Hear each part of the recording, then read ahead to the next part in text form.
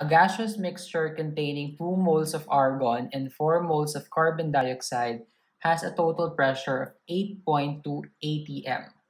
What is the partial pressure of CO2? If you want to calculate for the partial pressure of the gas, the formula is the mole fraction of the gas. The symbol is the Greek letter chi, so chi gas times the total pressure or P total. So in our problem, we are asked for the partial pressure of carbon dioxide. So the partial pressure of carbon dioxide would be the mole fraction of carbon dioxide times the total pressure. How do we calculate the mole fraction of carbon dioxide? So mole fraction of carbon dioxide is equal to the moles of carbon dioxide divided by the total moles of gases. So in our problem, we are given the moles of carbon dioxide, which is 4.0 moles. So 4.0 moles divided by the total moles.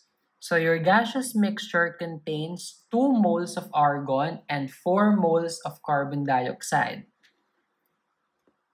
So the total moles would be 4 moles plus 2 moles.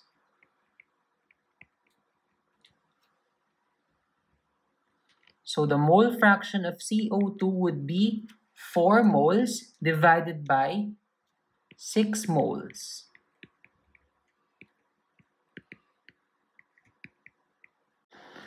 Moles will cancel.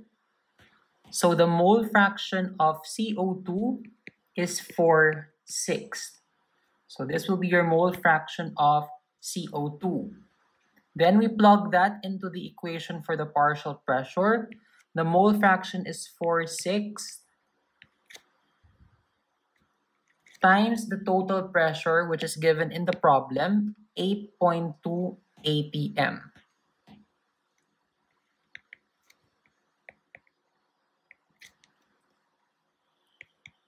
So solving for the partial pressure of CO2, 4 over 6 times 8.2, that is equal to 5.47